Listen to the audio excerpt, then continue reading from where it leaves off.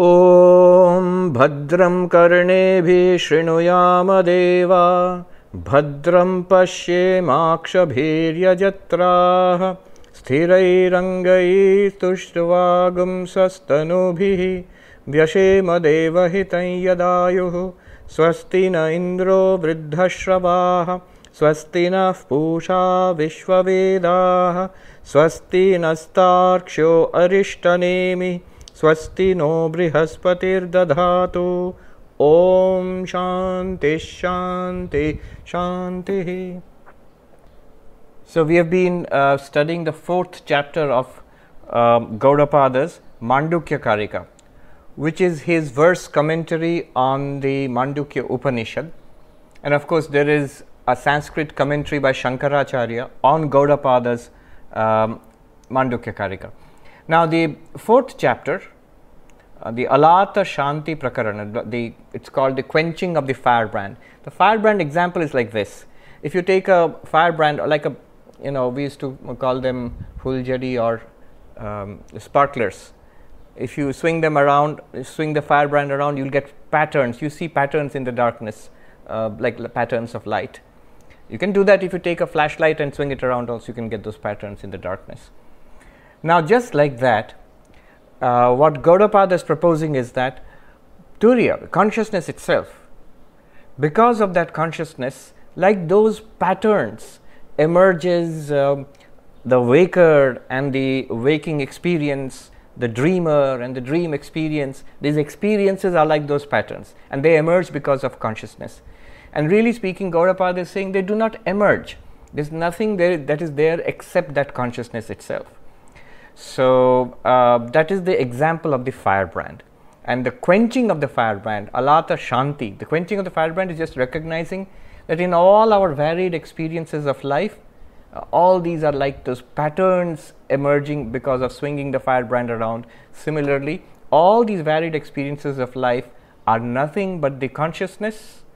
Um, so all these varied experiences are merged back into the consciousness, so to, so to say. This is the quietening or the cessation or the quenching of the firebrand. It's not that you actually put the firebrand out, you cannot. Consciousness is ever there. And that's what you are. Realizing that everything in our in your life uh, is like the firebrand the patterns emerging by waving the firebrand across uh, that is what is called quenching the firebrand. Alata shanti prakaranam. Who am i? I am that consciousness the turiyam this is actually the same thing uh, the central teaching of advaita vedanta that brahman alone is real the world is an appearance and you are none other than Brahman. In um, Mandukya language, the Turiyam alone is real. The world, what is the world in Mandukya language? The waker's world, the dreamer's world, and even the potential uh, world of the bija, seed form in that deep sleep. They are all appearances, just like the patterns which emerge when we swing a firebrand around. And you, the sentient being, you who consider yourself to be this waker, having a waking experience, and you consider this to be the reality, what Vedanta is telling you that no, this is an appearance, the reality is you are that background consciousness, Turiyam. What good does that do? All good. All trouble is in identifying ourselves with the changing mass of patterns, body and the world, and all peace solution to our problems is realizing here and now that we are that background consciousness, which is immortal, which is beyond change, which is not subject to birth or death, it's not subject to old age, disease, or death, it's not subject to elation or depression. So you're free of that. Even in the midst of the patterns. All right. Um, what we did last time was verse number um, verse number 60 we did that last time नाजेषु सर्वधर्मेषु शाश्वता शाश्वत अभिधा यत्र वर्णा न वर्तन्ते विवेकस्तत्र नोच्यते so um, language does not begin to describe either the Turiya or the world appearance. Neither Brahman nor the world appearance can be adequately described by language. That was the meaning. Why can't Brahman or Turiya be described by language? Seventh mantra we saw um, Abhyapadeshyam, not an object of words. That's what he's uh, referring to here as um, tatra varnana vartante. Varna means letters. Words cannot refer to the ultimate reality. But here it specifically means words or, or cannot de- adequately describe this creation either, especially the jivas, us. How do we emerge? Uh, what is the cause? And uh, why is this happening? You know what Gaudapada's answer is that causality is not real. There is no real emergence of the jivas, and there is no cause of them either. Turiyam alone is the reality. And therefore, language cannot adequately describe even this. Uh, specifically, this is the, these statements are the origin of the later doctrine of anirvachaniyata. Anirvachaniyata means um, language cannot describe this creation as being either absolutely real or for, or unreal. It's not absolutely real because it comes and goes, and knowledge uh, falsifies it. Specific statement this creation is not absolutely real because it's falsified or falsifiable by knowledge. You realize that it's not a snake. So, the snake which you saw, if you can realize it's not a snake, it's a rope, in that case, that snake was not a real snake. Um, yet you cannot dismiss it as unreal, as non existent, seeing that it makes all this difference. That is Swami Vivekananda's language. You cannot dismiss it as being uh, unreal because seeing that it makes all this difference in our lives.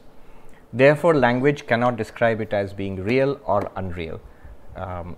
In Sanskrit, sad asad bhyam anirvachaniyam. Inability to express it as sat, pure being, or asat, completely non existent. So, this is what we had done. Now, today we will go ahead. I know I am rushing a little but uh, for two reasons not just for the reason of completing it but also actually you will see and you are seeing how many of these things are repetitions. Um, uh, we have seen on this long journey that what was said in the first second and third chapters sometimes verbatim sometimes the actual verses are repeated. So gaudapada has one objective here establishing non-duality and in his own way what is his way? By attacking causality.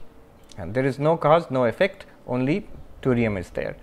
So, that is his approach and he's um, what is the use of all of this? We get a deeper understanding of what Advaita means by exploring it together with Gaudapada. He takes us into some very fascinating, very deep and profound deliberations on non duality and causality, and uh, it has its implications for our spiritual life also. So, I will go ahead every three or four verses I'll stop and see what observations, comments or questions are there. Um, Sashank will help me by unmuting you. He'll keep a lookout for your questions and uh, uh, we'll discuss it and then again take up a few more verses. So, that is how this uh, evening will go. All right, let us see. Verse number 61. यथा स्वप्ने द्वयाभासं चित्तं चलति मायया तथा जाग्रद्वयाभासं चित्तं चलति मायया as in a dream the consciousness vibrates as though having dual functions duality so in the waking state consciousness vibrates as though with as though with duality So, remember the example which I had um, mentioned in the last class that I was in, I was dreaming actually, but it felt like I was in the plains of Africa and being chased by a lion and I climbed a tree and all that, that whole thing. Now, where, imagine the dream, what was going on there? I felt, here I am, located in a body, and this body is located in a, in a space, this space of the plains of Africa and there is time and there is space and there is this fearsome object, the lion, and there is an event the lion is running and i am running. And there are internal feelings also of uh, fear and anxiety and terror and so on. So all of this was experienced. I and this world africa and the lion subject object. Now look at the verse. It says yatha swapne as in your dream o swami dvayabhasam you saw this appearance of duality. What duality? Subject object. I am there, these things are there, and things are going on. Did you not see it? Yes, I saw it. Chittam chalati mayaya. But it was all the vibration of one mind, mayaya. That's why it's saying dvaya bhasam. The appearance, abhasa means appearance. The appearance of duality. Why are you calling it appearance of duality? Because, O Swami, did you not realize after waking up there was neither subject nor object, nor was the Swami there, nor was the lion there, and nor, nor the Swami, neither the lion. Yeah. Subject, object, neither were there. What was there? Chittam, the mind alone, or consciousness in itself. It, it was as if vibrating and dividing itself into two. It was the dreamer's mind. Here he has used chittam as consciousness, but we can take it as the mind. It is the dreamer's mind which appears as subject and object. And we all agree when we wake up that um, um, there was really no subject, really no object, although you experienced it fully as subject object. Dvayabhasam, appearance of duality. Okay, we accept that's what happened in the dream. Then, so what? Tatha jagradvayabhasam chittam chalati mayaya. Exactly the same thing is happening here. In the waking world also, you have consciousness, in consciousness appears duality. What is duality? I am the subject, Sarvapriyananda here, and this is my object. What is the object? This um, computer and the people who are listening there, this room, space, time, it is 745, uh, and so on. All this is the objective world which I inhabit. Both of these are appearing in consciousness their appearances. Because chittam chalati maya because of maya. But remember at that time of course in gaudapada's time the fully developed post shankara advaitic whole maya apparatus was not there. But he used it sort of uh, in the sense of magic illusion appearance inex- inexplicability like that. So chittam chalati maya consciousness because of maya appears as subject and object let me read out here for you Swami Vivekananda's poem, which I've referred to again and again. This is from Song of the Sannyasin. There is but one, the free, the knower, self, without a name, without a form or stain. In him is Maya dreaming all this dream.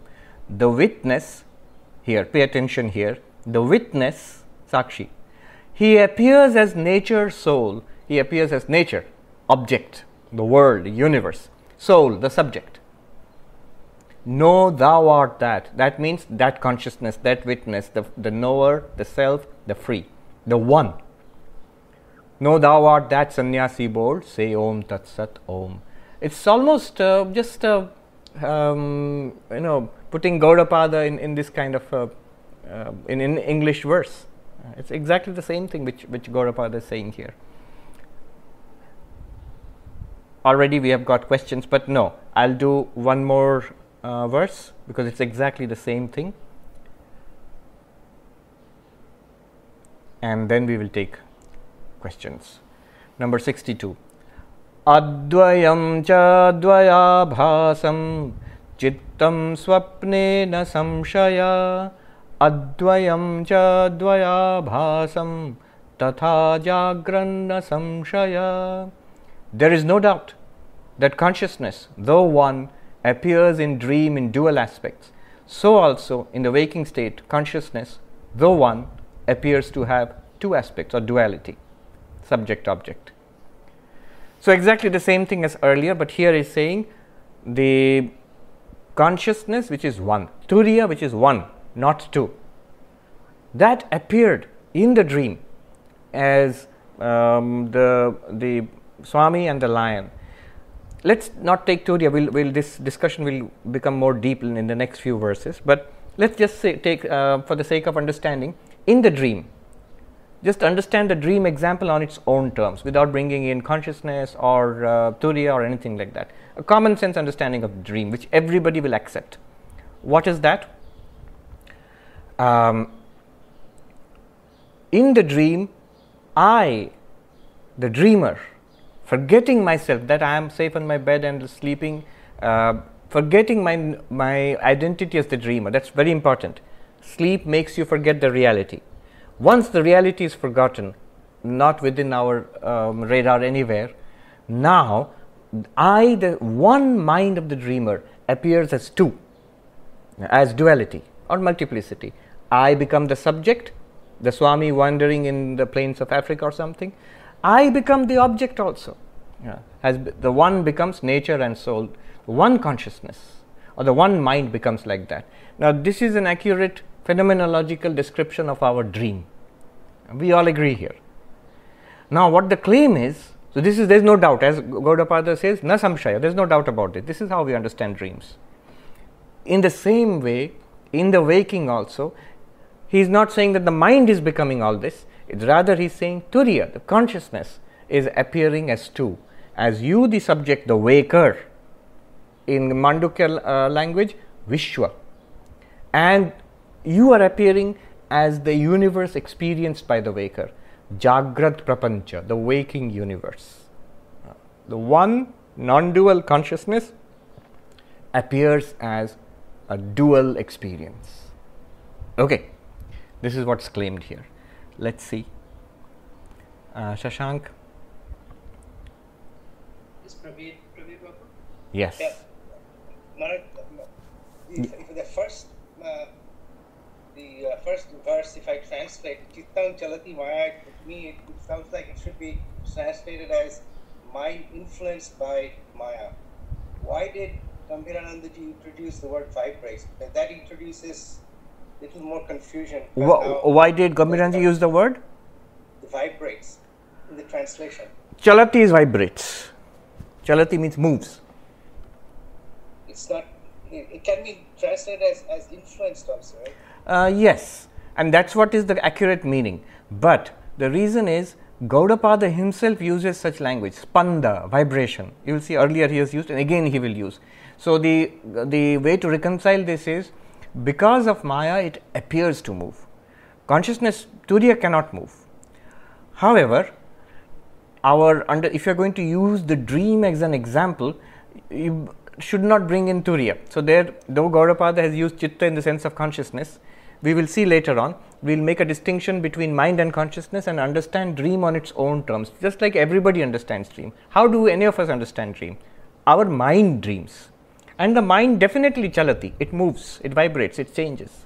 Yeah. But you are right. If you're going to talk about Turiyam or consciousness, better not say chalati, vibrates. And also, the question is that um, here uh, the translation seems to translate chittam as consciousness. It is, and that's So correct. It's equating uh, dream and, and waking. Yes, it is. And that's what's Gaudapada's intention. We will uh, explore this a little later. Notice how I explained it. I did not want to equate Chittam with consciousness, though Gaudapada is consistently using Chittam as consciousness here um, in most places. Uh, but in Vedanta, we make a difference. Chittam is mind and Chit is consciousness. Uh, that is, but these are later developments, later clarifications. Gaudapada, therefore, is a little hard to grasp there but one can see what he is trying to say. Um, to make it easier, we will take we will take it in two steps. Instead of straight away jumping, consciousness alone vibrates as subject object in dream. There is no doubt.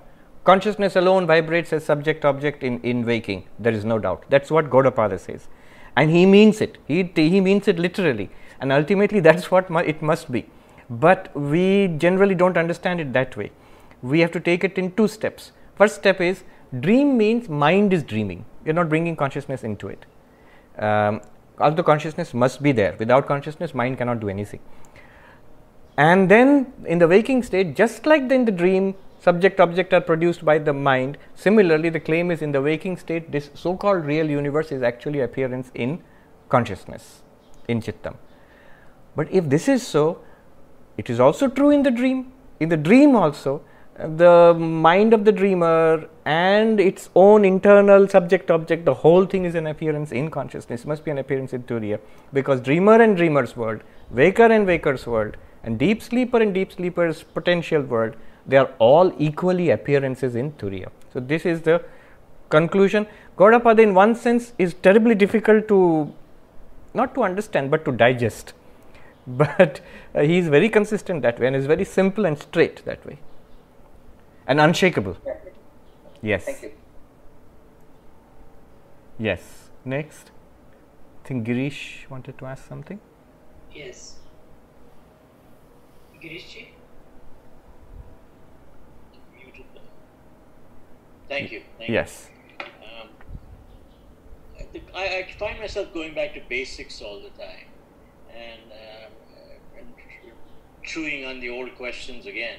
So, in that vein, I, I understand the need for the concept of Maya and, and also karma to explain the waking world as experienced by the jivas.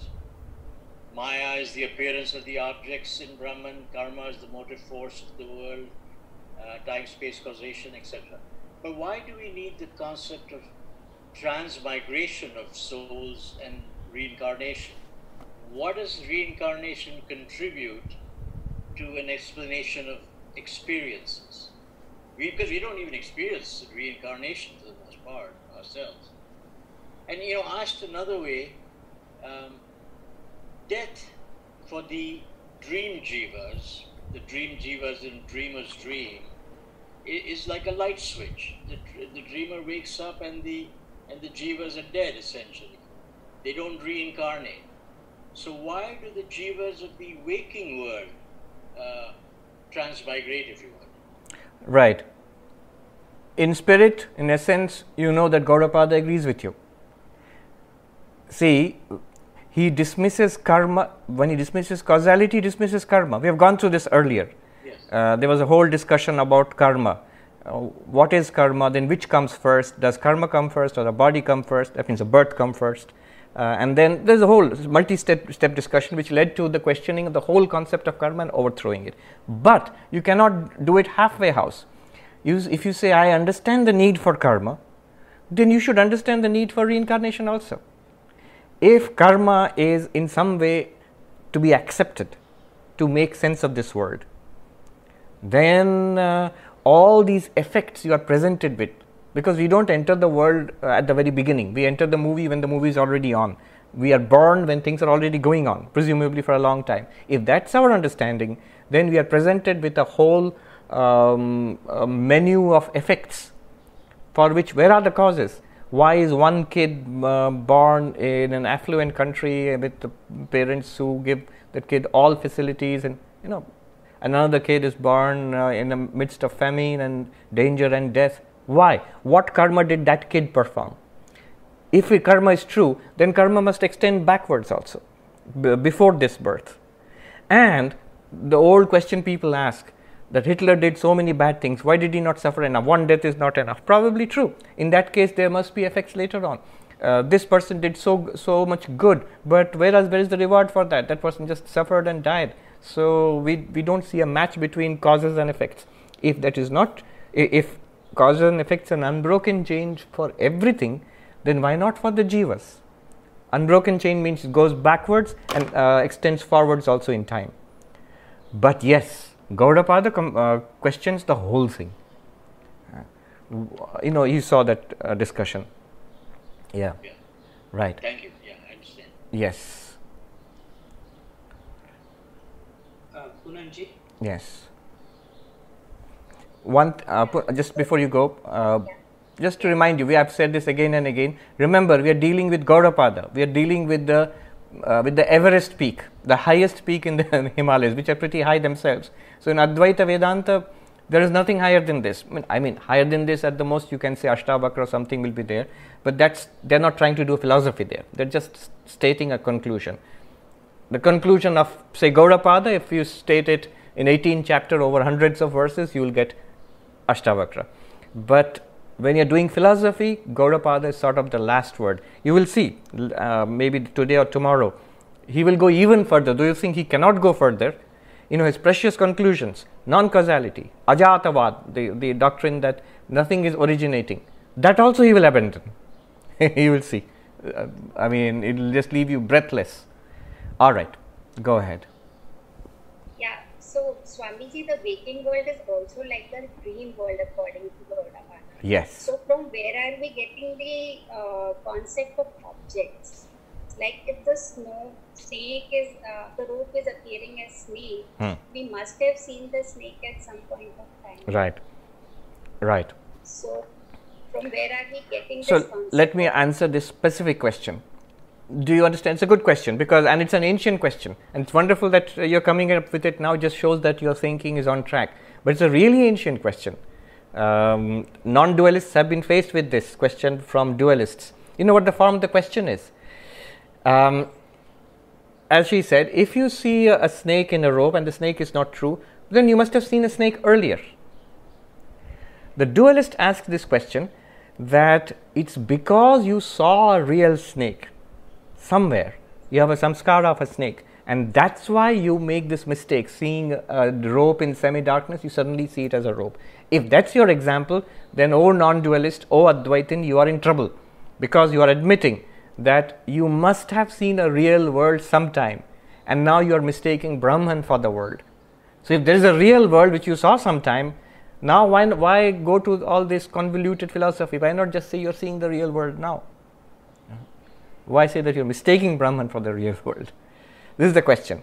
The answer is subtle, but it's also very interesting. The answer is to make a mistake, what do you need? You need to have, it is true, you need to have the impression of a snake. Which, and to get the impression of a snake, you must have got it some, sometime earlier. You must have experienced it you must have experienced it, experienced a snake earlier to, to make a mistake about a snake now. Understood? This is we are we are agreed on this. Now the Advaitin says, notice what you just said. You said you need an ex- prior experience of an object like a snake to make a mistake about it now. Right? Yes. Does that prior experience have to be of a real external object or could it be an appearance?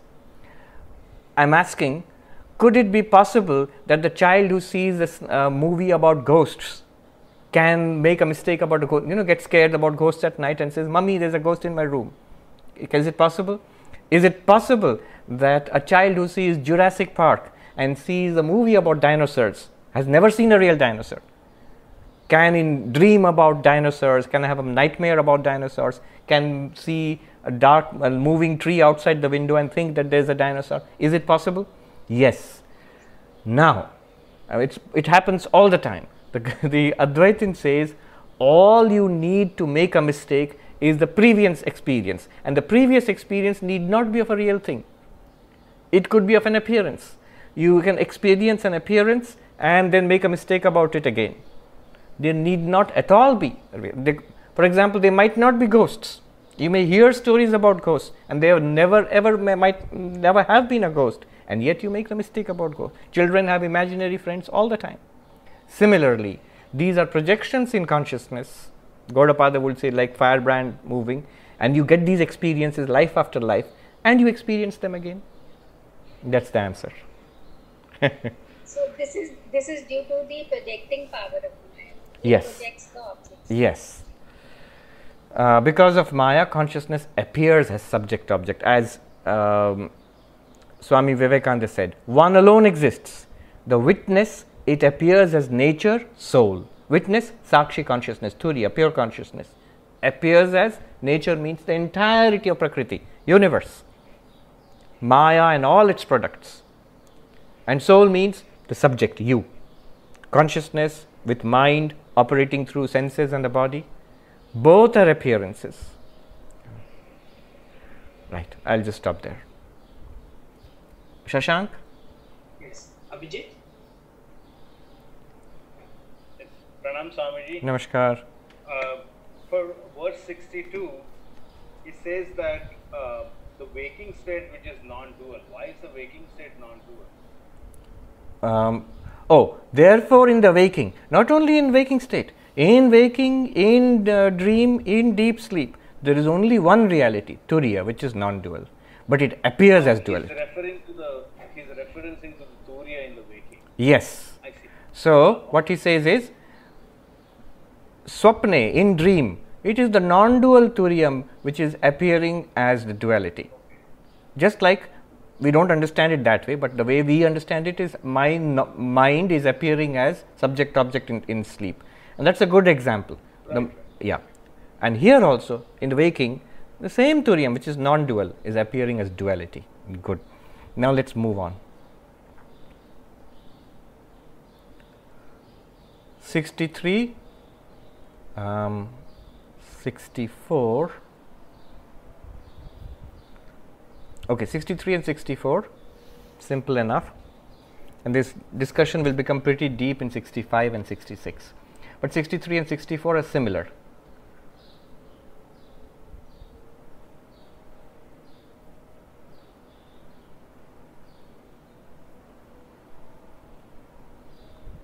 All right. In fact, before I get into it, let me just um, explain what's going to happen. This is a deeper exploration of the dream and waking examples which we just saw. It helps to have this picture in mind consciousness, mind, and world. Consciousness, mind, and world. Consciousness is Turiyam, Atman, Purusha, Sakshi, whatever you call it, our real nature. And that's all, that's the real subject the the ultimately the illuminer of all experiences and that's what we are according to advaita vedanta. Now introduce the mind.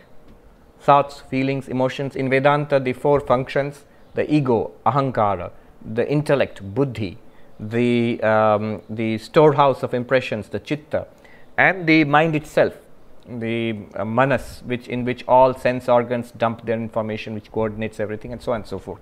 All the functions of the our inner being uh, thoughts feelings emotions ideas memories desires uh, uh, intentions all of that mind. And the world external world and our bodies too. Anything physical anything publicly shared between us which we all see. So we have three now. Consciousness mind world consciousness is uh, is the real subject it is never, never an object. It's impossible for it to be an object. The mind is the provisional subject which experiences the world. It's an object to consciousness, but it is the subject when it comes to knowing the world, and the world is always an object. Let me repeat that, very important. Consciousness is ever the subject, it can never be objectified. The mind is an object with respect to consciousness. It's an object to consciousness. And I'm not saying anything strange here because we are aware of our thoughts, feelings, emotions. If you introspect, if you're aware of that, they're lit up by you, the consciousness. That's all I mean. So the mind is an object with respect to consciousness. But with respect to the world, the mind is a subject. It knows the world. So we have three now. Now let's go into it um, these verses, we'll be able to understand these better. This consciousness, mind, world, he uses this paradigm to understand dream, and he again uses this paradigm to understand waking. So keep it in mind consciousness, mind, world. Verse number 63 Swapna pracharan swapne दिक्षु वै दशशु स्थितान् अण्डजान् स्वेदजान् वापि जीवान् पश्यति यान् सदा। Um, let's do 64 also. They are given together here. स्वप्नदृक्चित्तदृश्यास्ते न विद्यन्ते ततः पृथक्। तथा तद्दृश्यमेवेदं स्वप्नदृक्चित्तमिष्यते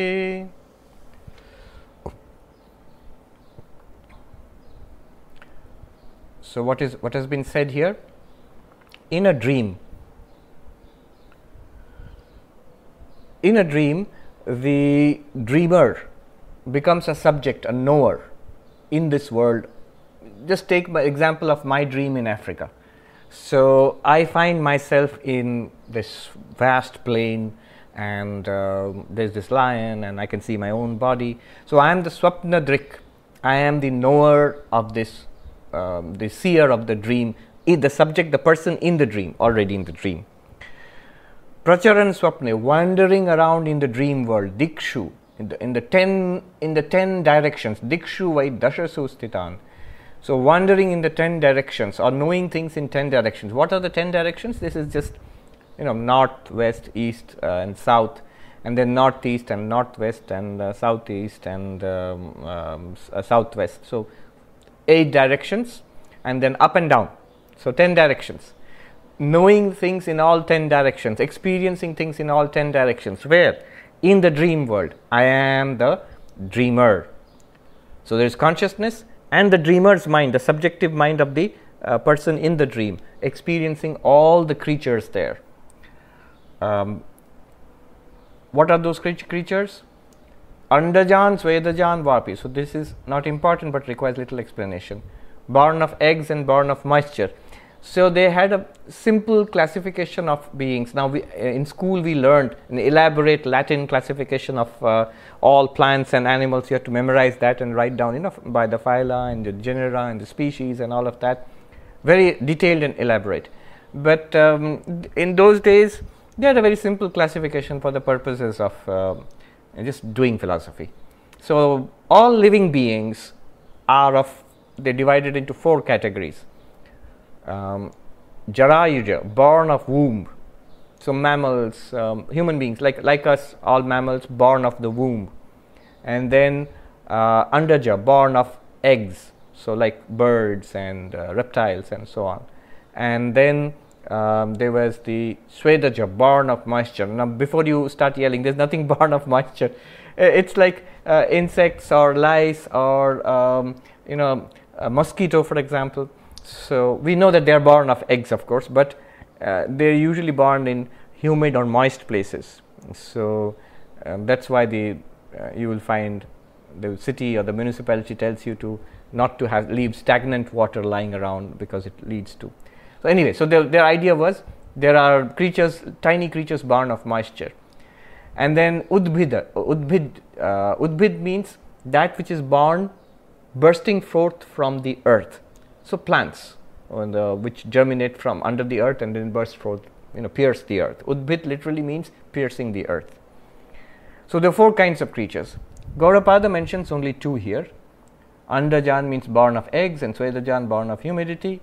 Um, Jivan Pashyati Yansada. Who's so in the dream I see all these beings. I see um, the lion coming. Ah, so the lion is born not of an egg but of the womb of its uh, mother lioness.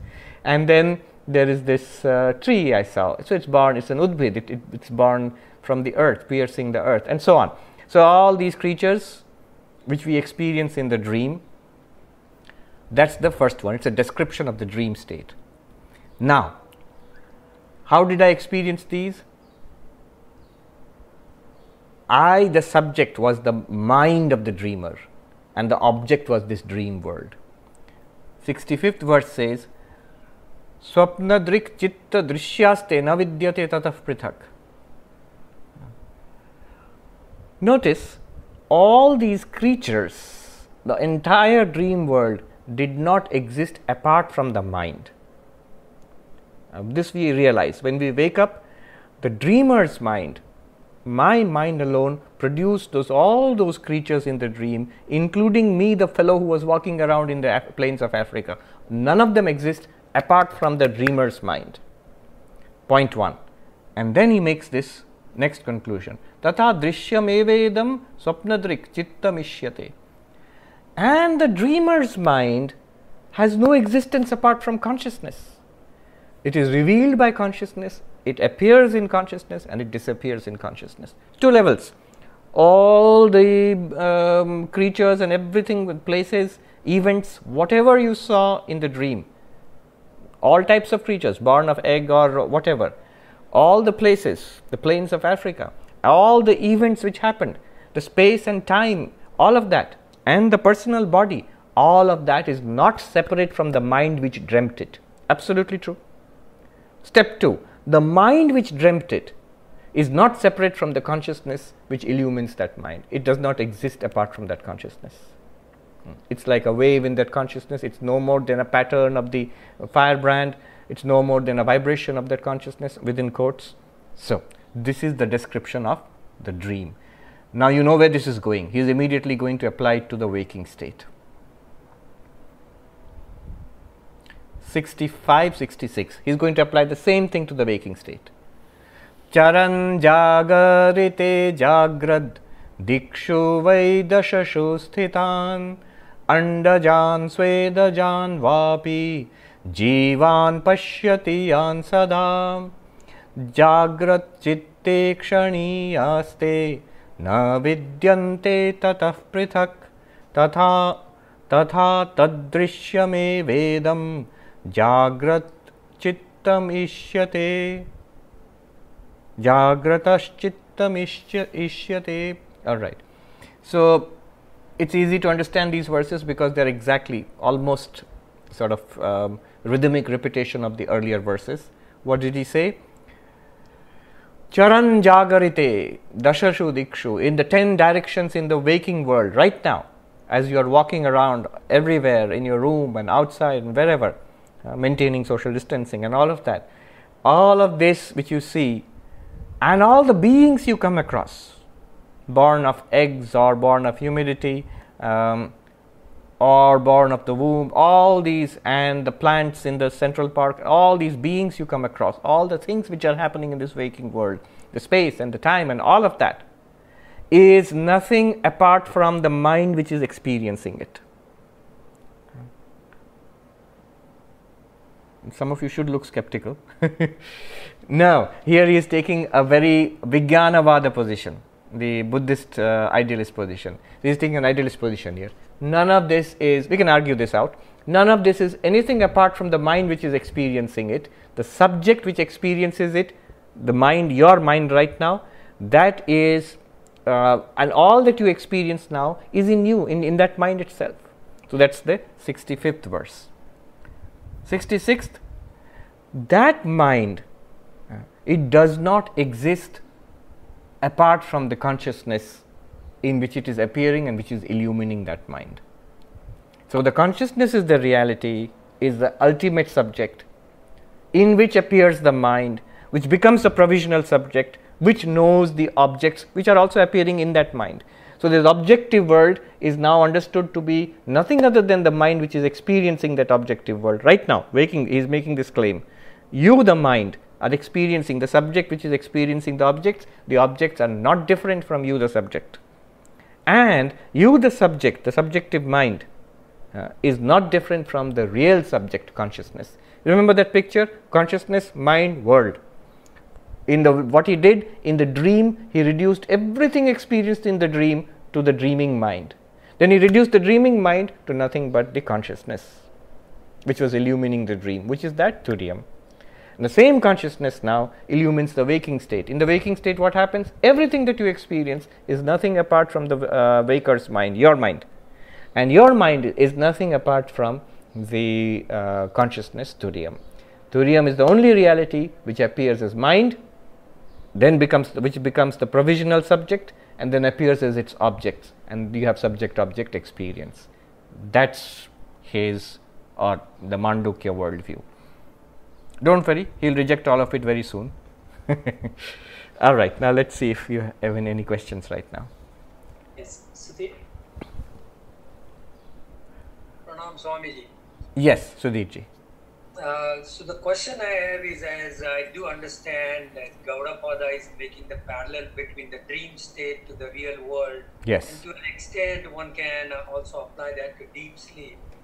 But then looking at the question, earlier question which Girishji asked that about Punarjanma and all that, how do you tie the experiences past death into what category? Does it go to the deep sleep area? Does it go to the dream area? Or how do you reconcile the Punarjanma, which is after death, and then the karma law applies? And because you can look at only three states, right? Waking, dream, dream and deep sleep, and Hmm. then Turium is the ultimate. Hmm. So what about the state which is past your death? Is there a new state or is it already included in Turium? Notice that all states are false according to Gaudapada. He is not saying that there is Turium and there is waking and there is dream and there is deep sleep. No, he is saying there is only Turium. Turium, correct. Yeah. Now, when you ask about karma and past lives and future lives and all of that, you are ignoring Turium. What you are saying is, this life is real, this waking life, and I have had earlier lives in which I had similar experiences waking, dreaming, deep sleep, and now I am having waking, dreaming, deep sleep, and I have future lives in which I will have waking, dreaming, deep sleep. So, this is the common sense uh, uh, idea. Um, our the basic materialist idea is that this is cut off from birth and death. When with the birth of the body, this experience begins. With the death of the body, this experience ends. Religion extends it further. Um, Vedanta or Buddhism or any of the religions says no, no, not with the beginning of the body, not with the beginning of the end of the body. The mind and the body are not. Mind is not born from the body. The mind exists before the body, with the body and then after the body in other bodies. So there is a continuation. We have come here through many lives and many bodies and bringing with many samskaras and then we are going through these experiences and we will have further experiences in future and if you believe in god and some kind of spirituality you will get maybe liberated from this whole cycle gaudapada rejects this whole thing he is saying that waking, dreaming, and deep sleep are not ultimately real. Their are appearances in consciousness. If waking, dreaming, and deep sleep are not ultimately real, then what we experience in waking, dreaming, deep sleep, individual going through experiences, possibly past lives, future lives, all of that now becomes under question, right? So Gaudapada is not interested. In fact, he will say that um, past life and future life keep it apart for the time being. Do you even have a present life? he will say, Okay. it's like asking the Swami that I will save you from the lion, but tell me first, this lion, why do you think it is attacking you? Oh, I am a Vedantist, I know some past life, I must have been a lion and bitten one Swami, now the lion is going to bite me. so, oh, so you existed, I must have, it because I can see the effect. So, karma must be there, and that karma I don't remember, so it must be somewhere before my birth as a Swami. Gaudapada will say, Are you really a Swami? Is this really Africa? Is there really a lion? Is this all really happening? Does it require an explanation? No. What does it require? Waking up. Waking up. Waking up. When you see it from the waking person, oh, I was in Manhattan in my bedroom, then all the questions are unimportant. Why the lion attacked me? The answer is there was no lion and there was no me. It looked like that, no doubt. Even after waking up, I cannot deny I saw. It was an experience. So I have to say that it was not ultimately real. Ultimately real is I, the waker, here. Gaudapada is saying push it further. Here also, right now also, what is it that you are experiencing? External world, mind of Sarvapriyananda, illumined by awareness. Now, this external world of Sarvapriyananda, is it different from the mind of Sarvapriyananda? Gaudapada says no. Here, a big step is being taken. In philosophy, they call it subjective idealism. So, this is borrowing from the Buddhists. But then he goes further. Even the mind of Sarva- Sarvapriyananda, has, is there any proof of that mind without the consciousness? Once you go to consciousness, it's no longer Sarvapriyananda anymore. So, where is Sarvapriyananda? In this mind, in this world. But this mind and this world are both appearances in an impersonal consciousness, which is common to all of us. Or rather, we are all appearances in that impersonal consciousness. That is Gaudapada's very radical claim. And you have to realize it here and now. There I woke up. What is waking up? I moved from one state to another. I moved happily from dream to waking, and that solved my problem.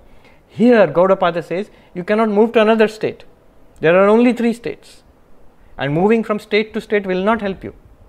Uh, all these states are due to ignorance. The reality is the reality underlying these states, which is always available. Turiya is available right now. Turiya was available in dream. Turiya was available in deep sleep.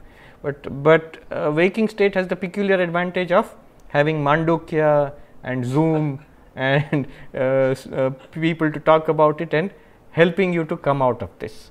Yes. So, coming out is not going to another state called Turiya. Coming out is realizing that I am the Turiya. Okay, thank you. You do realize the questions you are asking are proper questions in any kind of dualistic religious context, and there are answers.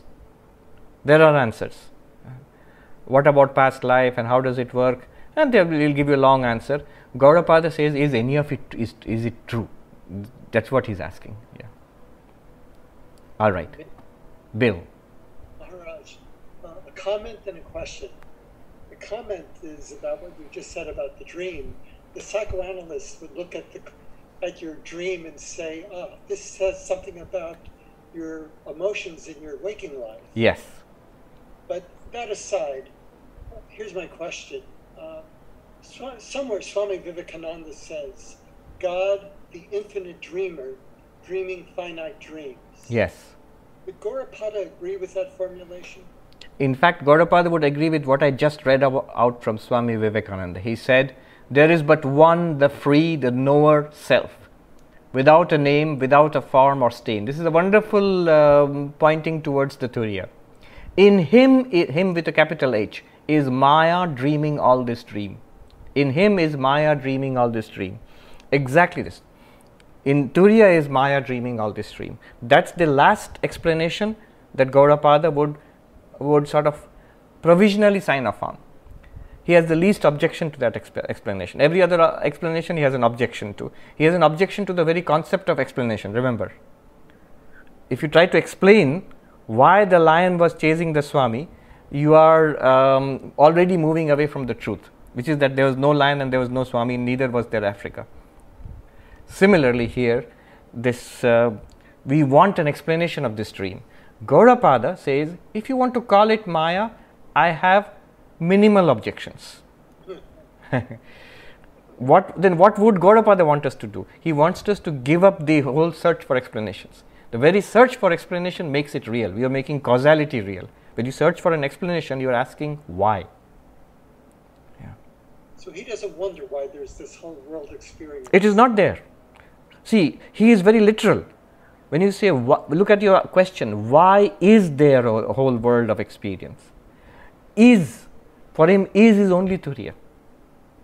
I mean, he says these experiences are there and they have their own reality, whether or not they're bound, you know. He will come to it. Their own reality, yes. So there is a kind of own reality to it, which he will talk about later. But uh, the easiest way to understand Gaudapada is suppose you take only the standpoint of Turiyam, the absolute reality. Then what would you say about all of this? That's what Gau- Gaudapada says. It may sound crazy to us, and it's going to get crazier now. We'll see now. So Maya can have a dream. no, Turiya can have a dream through Maya. Maya itself has, is, has no independent reality. What is happening now is because of Maya, we are having this dream. But first, we have to realize the dream nature of it all. That's the way out of it. Otherwise, we'll be trapped in it. Yeah. Okay. Right. Now, who's next? All right, nobody. Let's go on. Um, Actually, yes. so I have a question. Uh, is there a question comment? So far, I had a big uh, confusion was that uh, dream world, what I see in the dream comes is a product of the mind. Yeah. Whereas con- in waking world, Hmm. it's whatever I see is an appearance on consciousness. But Yes. here, in the 66th verse, Yes. Gaudapada is trying to say that it is there's also mind. It's also a product of the mind. Yes. In the waking world, what I was saying. In in that the makes it my my life my very simple. I, I can understand the whole thing now. It makes the, easy, the understanding much more easier. That's what I make. It's a comment, not a question. So, am I correct to say that the waking world, are also what I'm seeing, is a product of my, uh, the mind? Yes, but you might say it makes your world easier, but does it? It makes it more difficult. Our ability to distinguish between dream and waking makes our common sense life possible. What Gaudapada is ad- advocating is pretty radical. He wants you to treat the waking world like you treat the dream world. No more real. Yeah. Yeah, I, but but at least at least I can understand now what Gaudapada is saying Yeah. in a log. He is logical. It's up to He, he's, he's very logical. Yeah, yeah. he's very logical. But if you treat your job and your wife, husband, children as figments of dream, you see what they do to you then. The rea- reaction will be pretty, pretty harsh. It will convince you that they are real. so, yes. But Gaudapada is logical. He says the same thing could have happened. Even in the, in the, it will come next. How he gives a provisional reality to this waking world. What Bill was saying. Um, he would have said, see, even you, we all agree that the Africa experience was a dream. But in that dream, if when you're running from the lion, if somebody tells you it's a dream, don't run from the lion. Treat it as a dream. It's quite possible that the lion would have jumped on you and you would have had the terrible experience of being torn apart by a lion. Gaudapada would have said that it, that is also a dream. Now, if you are willing to do that in the waking state, it happened. Swami Turiyanandaji, he is with Guru Das Maharaj, who is an American monk.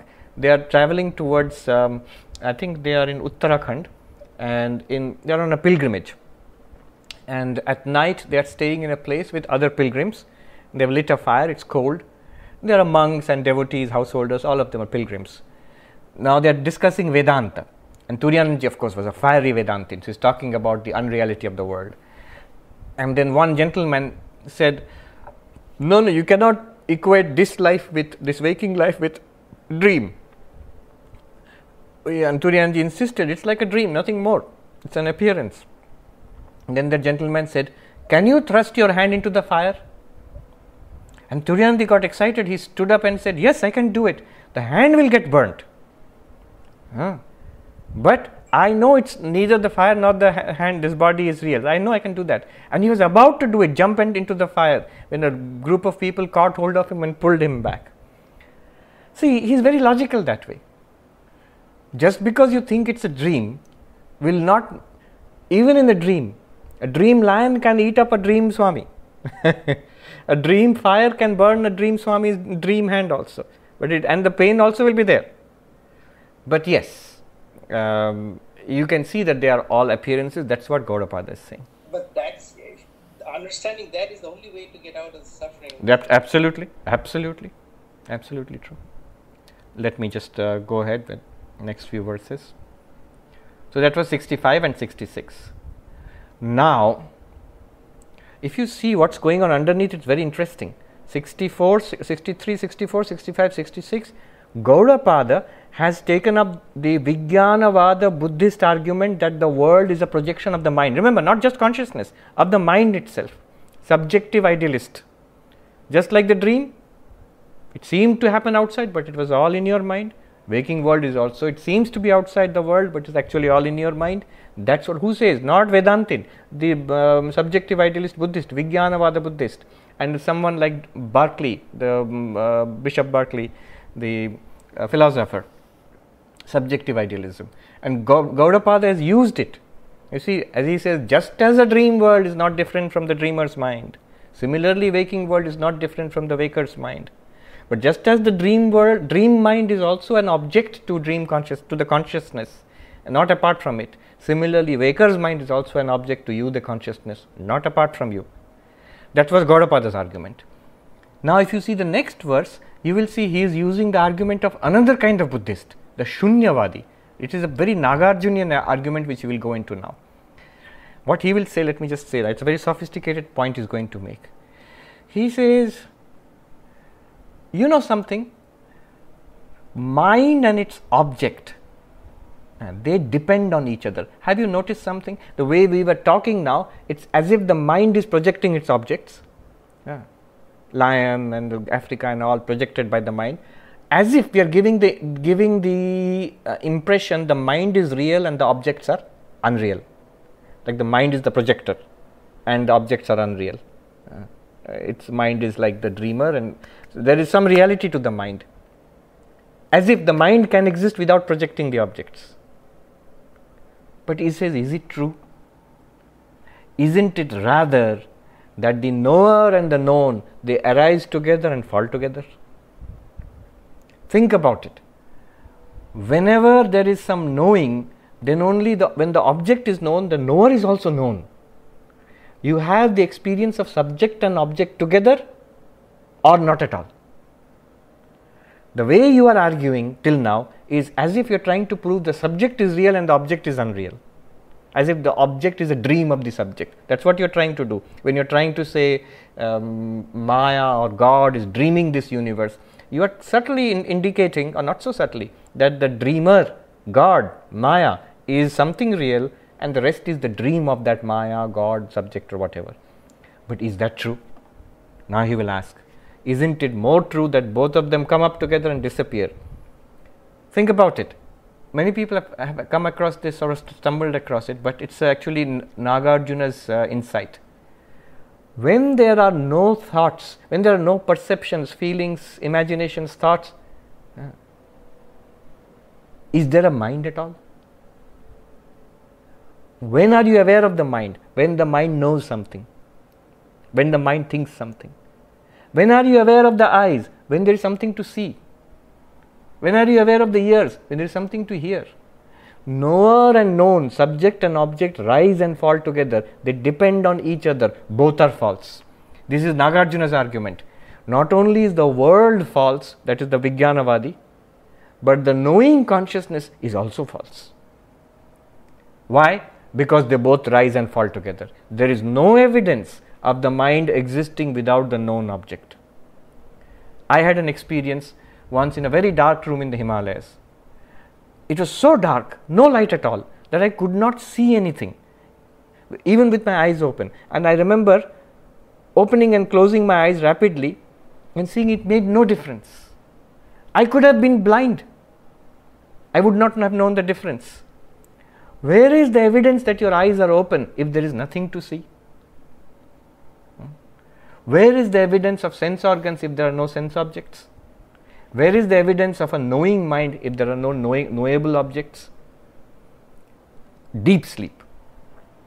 Deep sleep is, suppose you consider deep sleep, nothing is experienced. We say the sleeping mind, mind has dissolved into its deep, deep sleep state, it's all language. Nagarjuna will say, you're just playing with words. Where is the proof of the existence of the mind when the objects of waking or dreaming are not there? So, knower and known rise together, fall together. It is both, they are uh, mutually supporting illusions. They have no existence of their own. Don't try to make out as if the knower is real and the known is just an appearance. Both are equally false. This is what he will say now. 67 उभे ह्यन्योन्यदृश्येते किं तदस्तीति नोच्यते लक्षणाशून्यम् उभयं लक्षणाशून्यमुभयं तन्मतेनैव गृह्यते So, they, the mind and the, the object, subject and object, are both perceptible to each other, knower and known. If the question arises, does it exist? The answer is given no. Both of them lack valid proof, and each is perceived merely because of a prepossession with the other with the, because of an dependence on the other because of an a mutual obsession. Which is a very interesting um, uh, position to take. And underlying as i told you if you have a background in buddhism you see how gaudapada has shifted from using vijnanavada buddhist logic subjective idealist mind is projecting its objects and then consciousness projecting the mind Two, subject object both rise and fall together. The example used by Nagarjuna, by Chandrakirti, who is a commentator on Nagarjuna, this is uh, hundreds of years before Gaudapada. They don't use snake and rope example. You see, the interesting thing about snake and rope example is we it proves snake is an appearance, though we see it, it's not real, and there is a reality which we do not see called rope. Similarly, we will say there is this world, it's an appearance, and we do not, uh, it is not real, but there is a reality which we do not see, which is our reality, which is Turiya, Brahma, Atma, something. So, snake rope example immediately points to an underlying reality, but the example Chandrakirti is, is uh, fond of is bales of hay, hay which is tied together and they are kept in the field. You will see after cutting, they are kept like this, stacks against each other, like this, mutually interlocking and supporting bales of hay. They are not depending on something else, they are depending on each other. There is no further reality to them, mutually interdependent they arise. So, suppose you take them away, subject object, are you saying there is nothing? That also um, Nagarjuna will not say. He said, I do not say there is nothing. So, because he says that then people will make nothing into an ultimate reality. Nagarjuna, uh, Chandrakirti uses another example of a child who was told by his mother, Here is a, uh, some paisa, go to the shop and buy the groceries and don't come back empty handed. So he goes and he asks for these things, and the shopkeeper says, But it's all gone, it's, uh, I don't have anything, I have nothing. And then the child said, All right, give me some of that. I, have, I cannot go back empty handed. So you said you have nothing, so give me some of that. Uh, so nothing is also not a thing. Uh, you, ca- you cannot say that there is nothing. If that sounds very confusing, then you are not uh, alone. so Gaudapada here. Now, will you say that he is uh, denying Turiya itself? No, no, no. What he is denying is earlier he had said there is a world, there is a mind, and there is consciousness. Then he defined, he, he said that the world is an appearance because it's all in the mind. Now he's saying the mind is also not really real. Both mind and world appear and disappear together. And you know his project is to point towards the underlying Turiya.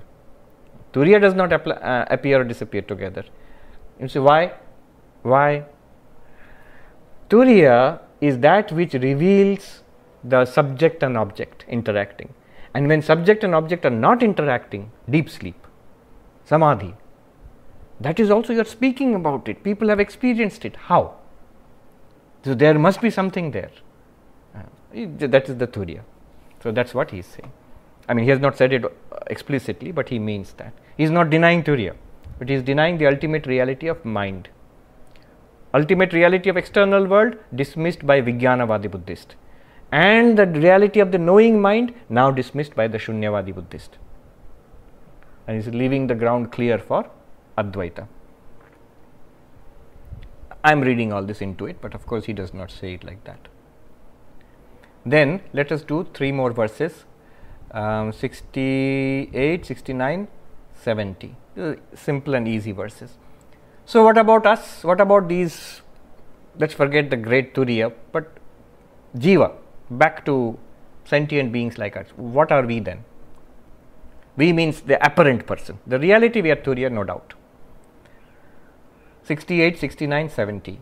यथा स्वप्नमयो जीवो जायते म्रियतेऽपि च तथा जीवा अमी सर्वे bhavanti न bhavanti cha. As a creature seen in a dream undergoes birth and death, so also do all these creatures appear and disappear. Yatha maya mayo jivo jayate mriyate cha तथा जीवा अमी सर्वे bhavanti na bhavanti cha. As a creature conjured up by magic undergoes birth and death, so also all the do all these creatures appear and disappear. Yatha nirmitako jivo jayate mriyate piva तथा जीवा अमी सर्वे bhavanti न bhavanti cha. As a creature produced through medicines and charms undergoes birth and death, so also do all these creatures appear and disappear. Um, artificial creature. So, I was reading in, in Jewish uh, mythology, there is this idea of a golem. So, it's a mass usually of clay or mud, which is animated. You put the name of God, write it down, and uh, put it in the mouth of that golem. It's a vaguely human shape. It becomes animated and the one who controls it it will do all tasks for you. And once you take it out it will again become a lump of clay. Was it really born? Did it really die? No. It appeared to be an animate creature. Um, So, I guess one day if we have or we are almost there robots for example and you can plug pull the plug on them. Similarly, he says artificial creatures, uh, artificial creatures, nirmitiko jiva. So, he has given three examples. As all the creatures in your dream, they appear to have personal histories. The Swami in that Africa and the lion also was chasing the Swami and the tree which the Swami and the lion both climbed. All of them seem to be really there and you, you might trace out their histories. Uh, who were they, where did they come from, who were their parents, uh, what is their lineage, all of that you can trace out. But no, it's inexplicable. Actually, they have no birth, no death. They appeared in the dream. Similarly, he says, Ami sarve jiva, every living being who has ever lived or will live or is living on this planet are appearances like that. He says, Bhavanti na bhavanti cha. They appear to exist and then they don't appear to exist. They appear not to exist. It's not actually a real story of birth, living, dying, no. Then he goes and he, another example, Maya Mayo Jiva, like a magician uh, who produces apparently living creatures, uh, you know, a dove out of a pigeon out of a hat or something like that. Though those are actually real pigeons, but there's a sleight of hand there. But imagine illusory creatures produced by magic. They really don't have a birth, they really don't have an end. They are all appearances or illusions. Similarly, all creatures here, just like artificial creatures, like a golem, uh, so also all creatures here. Then what is real? Are we not real? Yes, you are real, but as Turiyam. Swami Vivekananda put it there, put it here. Somebody asked, but what about us individually as persons? We want to be immortal, absolutely real as persons. That's not possible. Swami Vivekananda said, uh, this individuality, he would make fun. You're not individuals yet. Think about it. Which individual? The baby, the child, the young man or woman, the old person, the one in, in coma in the ICU. Huh? Um, which individual are you? These are just like a work in process, a series of changes. Which is your reality? It is only when we are identified with the absolute are we truly individual then? It's the cosmic individual. I don't want to go there because that also Gaudapada will dismiss. cosmic individual is the Virat or the Hiranyagarbha. That's also an uh, appearance. All right. Now, uh, let me do just two more. Okay, let me do these 71, 72, 73. 71 न कश्चिज्जायते जीव सम्भवो अस्य न विद्यते एतत्तदुत्तमं सत्यं यत्र किञ्चिन्न जायते So the grand conclusion is really speaking no creature which has birth whichever has birth there is no source for it and no creature is truly born this is the highest truth where nothing whatsoever is born na kaschit jayate jiva. Ultimately, though they appear to be, they are not truly born. Why? To be born, to be created, to be produced, you require a source, a cause. There is no cause for that. Turiya is the only reality and it can never be a cause. It is consciousness, it is unchanging. It cannot change into that which is not consciousness. So, these are all appearances in Turiya. You might as well say the mind of the Swami became a human being, became uh, the landmass of Africa, became the uh, lion. No. Those were all appearances. The mind continued to be mind. Similarly, both the world and the mind are appearances in Turiya, which continues to be Turiya. Sambhava asya vid, uh, uh, vidyate. Sambhava means cause. There is no cause, no possible cause of the birth of creatures. Notice this is the exact last verse of third chapter. Advaita Prakaranam, if you see the last verse, I think 48th verse, you see this verse itself. So, um, so Gaudapada keeps picking out those things and quoting them again and again. Okay. Um, Uttamam Satyam. Uttamam Satyam, highest truth. Paramarthikam Satyam, absolute truth. Um, 72. So, the absolute truth is that there is Turiya only, non dual Turiya. then what is all this? All that we are seeing? 72.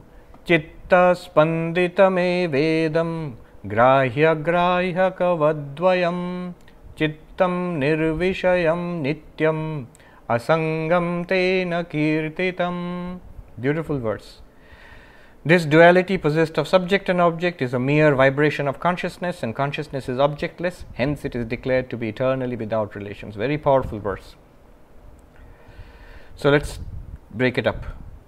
72. Chittam spanditam evedam. We have seen this earlier, the language of vibration, spanda. It's as if it's a vibration of consciousness. What appears? Mind, thought, perceptions, and world.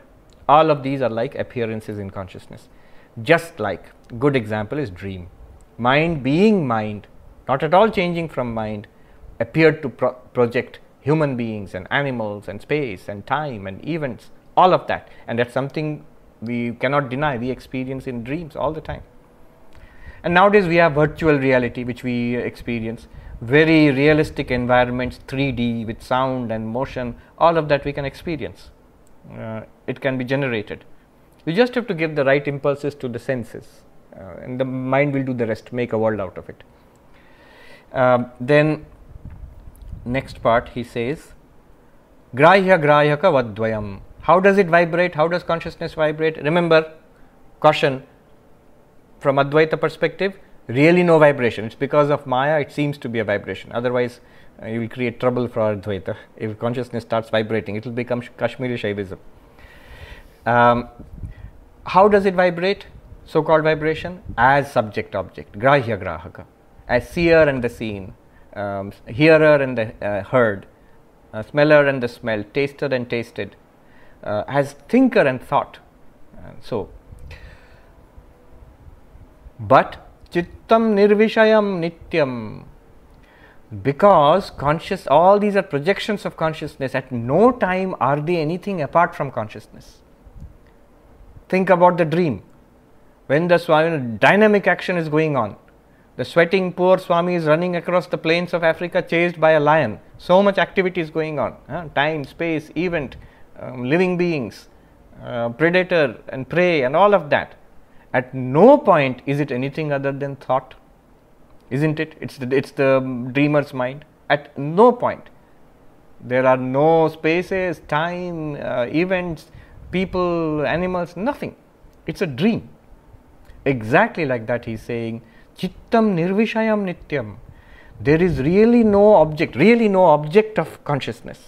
There are appearances of objects, but no actual object, the way we think it right now. There is a world out there, here I am, and consciousness is experiencing a world apart from it.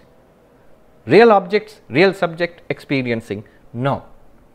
Chittam nirvishayam without consciousness, uh, with consciousness without object. When? In samadhi, when you get brahmajnana. No, nityam. In waking state, in dream state, in deep sleep state, none of them present any object for consciousness really. It's a stunning thing to think of. If you have no object, then what is not possible? No relationship is possible no subject object relationship is possible. Why? Because there are no objects. so he says, Asangam te na kirtitam. Therefore, it is sung in the Upanishads. Uh, this Purushad consciousness, is asanga without any attachment, non stick consciousness. Why? Because there is nothing for it to stick to. There is nothing for it relationship requires at least two poles, two terms, dvinishtha sambandha, two real terms. Think about it. Can the clay have a relationship with the pot? Clay pot. It's made of clay. Does the clay have a relationship with the pot? No. Because there is no pot apart from the clay itself. Can the water in the wave, the water, have a relationship with the wave? No. So, consciousness has no relationship with what it experiences because they are all no second item or uh, entity apart from the experiencing consciousness. And therefore, consciousness is asango, asangoyam purushaha. Upanishad says that this is ever unattached, even in the midst of thousand relationships, 10,000 attachments friend, enemy, boss, employee, father, son, daughter, husband, wife, uh, grandfather, grand, uh, you know, grandchildren. Uh, my eternal enemy. I will never forgive that person. There is not one real relationship here. You are eternally unattached to anything. Proof notice, none of it continues. None of these so called relationships ever continues. They all have beginning and end, and even when they have when they seem to exist, at that time also they don't exist. That's why you have no connection with anything here. Every relationship, and you forget Turiya also, every relationship, it disappears in deep sleep. Every relationship disappears in deep sleep. Why deep sleep? It disappears in dreams. There are other relationships. And in the waking state, also, now if you consider even the deepest relationship, how much do you think about it? Do you think about it every moment of every hour of every day? No. To keep a relationship alive, it requires the mind. And to keep the mind alive, it requires consciousness. The consciousness itself is unattached, asanga. Very important. Notice this. Now, what is the take home from this? You are already at home. So, what is the what is the spiritual message from this? One very powerful message. While conducting, while in the midst of all of these experiences and relationships, know that you are, by your very definition, by your very existence, ever free from everything. Never feel tied down, burdened. You don't have to run away to the mountain top in Himalayas to be free of uh, relationship, to be free of bondage. Nothing ever can bind you down. Asanga Purusha means nothing can bind this consciousness down. Nothing ever has actually. There is no other thing. What will bind you down? just think about it, it's a stunning thing. It means that you are ever free, you were free, you are free, you will always be free. There is even nothing that you have to do about it except realize it. All right. Then number 73. I will end with that we will take a couple of questions. I am going to this because there is an important point being mentioned here because uh, Praveer Babu asked about this uh, some amount of reality to be given to this world 73. So, here Gaudapada climbs down from his high horse and makes some allowance for us poor people. 73. Yo, ast, yo asti kalpita samvritya paramarthena nastyasau परतन्त्राभिसंवृत्या स्यान्नास्ति परमार्थता that which exists because of a fancied empirical outlook does not do so from the standpoint of absolute reality. Anything that may exist on the strength of that empirical outlook, engendered by other systems of thought, does not really exist. So, what does he mean here? So, he says all that you are experiencing has a certain transactional reality, Vyavaharika. He calls it Samvritti Satyam. This is Nagarjuna's term. Nagarjuna said the Buddha gave two kinds of teaching, Samvritti and Paramarthika.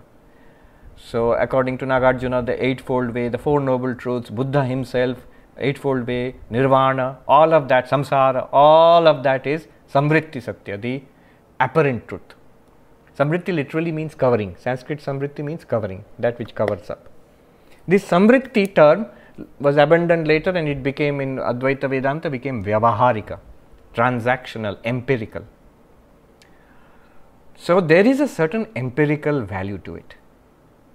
This is important to notice because after a strong dose of Gaudapada, people go around demolishing everybody else's. Um, it's all false. It, it, does not matter. It's a dream uh, don't care and then you get into clash with other people who don't understand. They have not gone through mandukya for 2 years. They are normal people. We have become abnormal. So they are normal people. They will uh, they will say what do you mean the world is false? It's absolutely true. It's true. You're seeing it hearing it. And they will say things like go without food one day. You will realize the world is true or not. Yeah. And you will answer, Gaudapada has very nice answers to all of that. Knower and know, known, they depend upon each other, rise and fall. Food and eater of the food. Yeah. So, if food is not there, the eater will be hungry. Food is there, eater will be satisfied. But does not mean neither food or not the eater is real. People will think this man has gone crazy. Stop going to Zoom classes. so, brainwashed.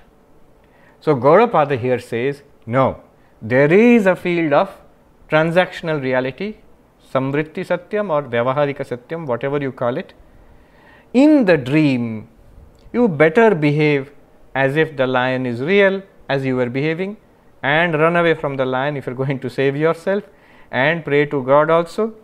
Knowing all the while, he says, Nasti aso, it's not true, paramarthika drishtya. What is the language he used? Uh, paramarthena nasti aso. From Turiya perspective, my, in reality, internally you know all of this is an appearance.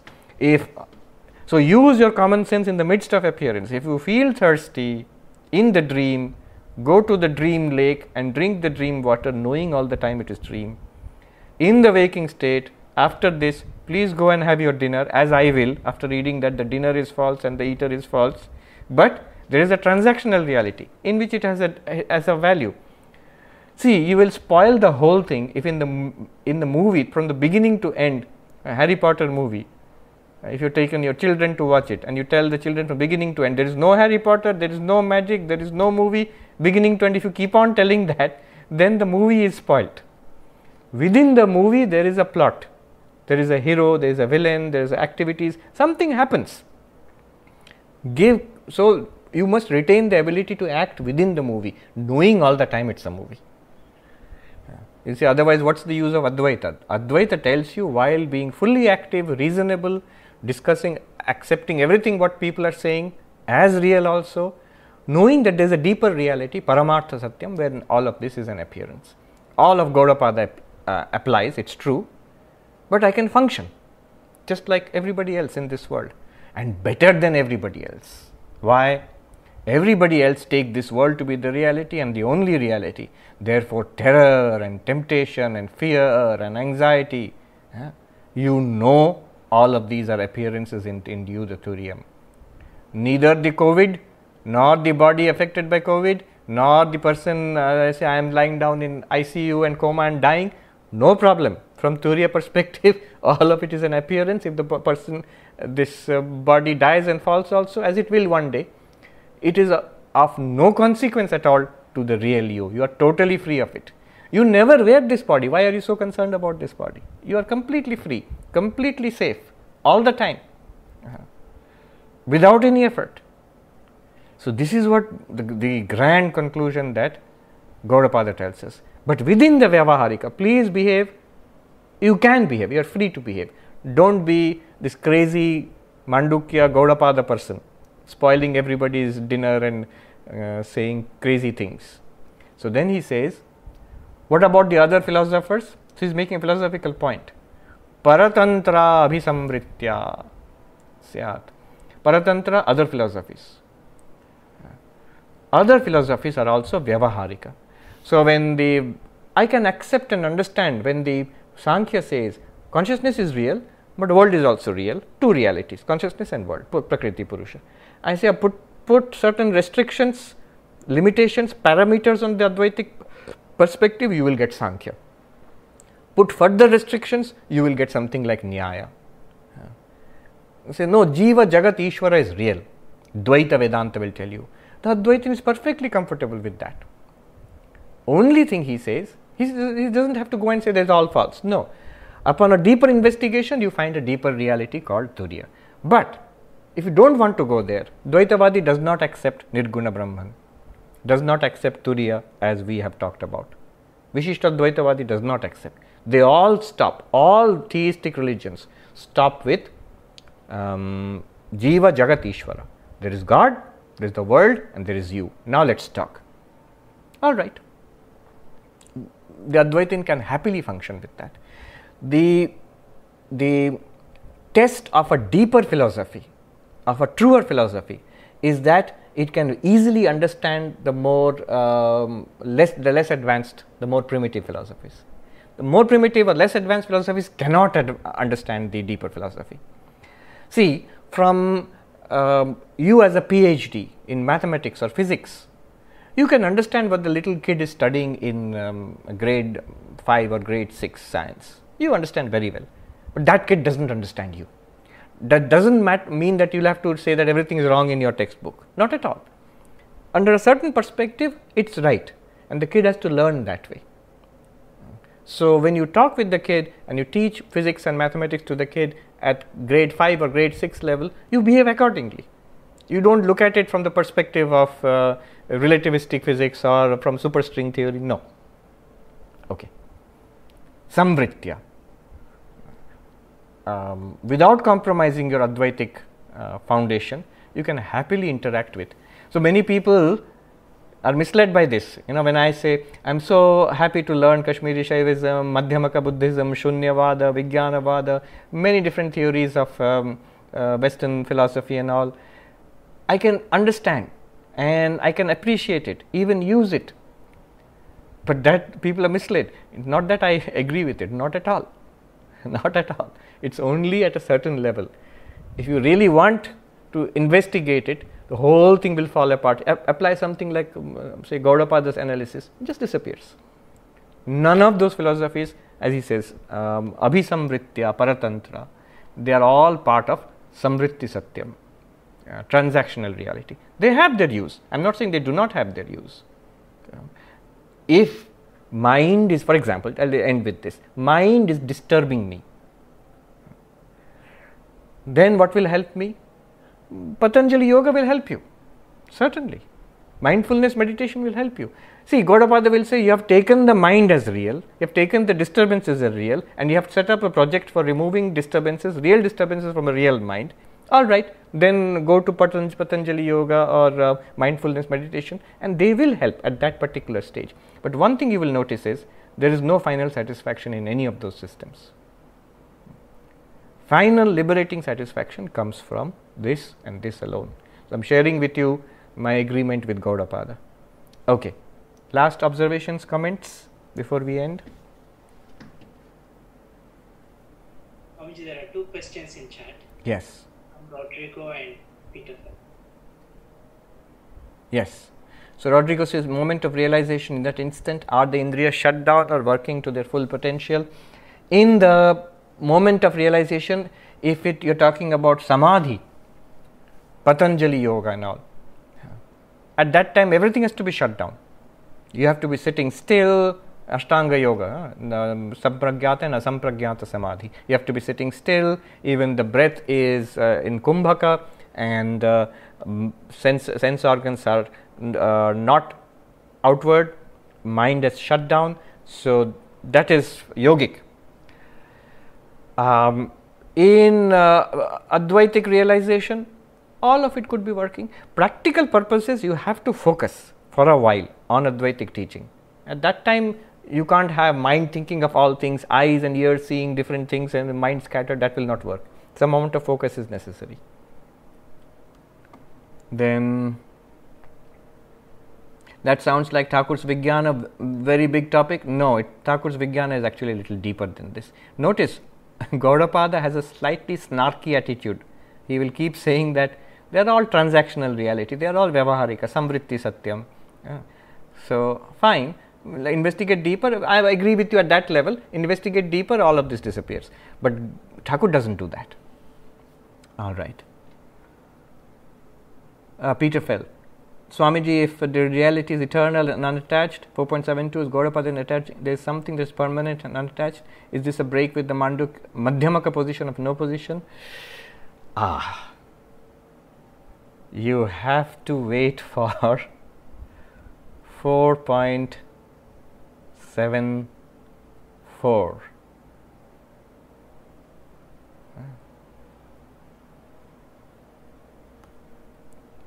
Where he will say, Whatever I have taught you till now about Turiya, now it's the time to let it go. Pure being, Sat, no. All pervading reality, Sarvavyapi Brahman, no. Eternal reality, no. all of that is going to come. Very shocking, but very logical also if you think about it. He will use the Madhyamaka approach, the Shunyavada approach. I'm saying that, for example, um, the Turiya is beyond cause and effect, which means causality is an appearance. There is no real causality. Now he will ask in number 74 if there is no real causality, what's the point of talking about beyond cause and effect? It's not there. So, why talk about it being there? Once you have understood, once you have removed the error of causality, now will you say define Turiya as being that which is beyond causality? But now all that problem of causality is over, suppose you have gone through all this. Now, why use that definition? Let go of it. If you say um, all pervading Brahman, but you are accepting all, then only you are saying all pervading Brahman. Uh, that you are accepting space, saying all pervading Brahman. Eternal reality. You are accepting time, and then you are saying eternal reality. You are a non-dual, even Advaita. There is no second thing. You are accepting that there could be other things. Then, with respect to that, you are saying they are not different from Brahman. So, they are uh, Brahman is non-dual, but others are not there at all. Where is the duality which you are you are uh, distinguishing Brahman from? Uh, so he will go into that level of analysis, which is very madhyamaka. Uh, but I will let me not um, talk about it now. I, that's why I kept it for tomorrow. It's uh, you have to approach it with a fresh mind. It can be very shocking, but then you will see it's very logical also. It's just the logical next step to take. Take, yeah. I think at that point, Sushma ji, hold on to your question. Sushma Berlia, hold on to a question. We'll have it. Uh, we'll deal with it tomorrow. We have well gone well over time.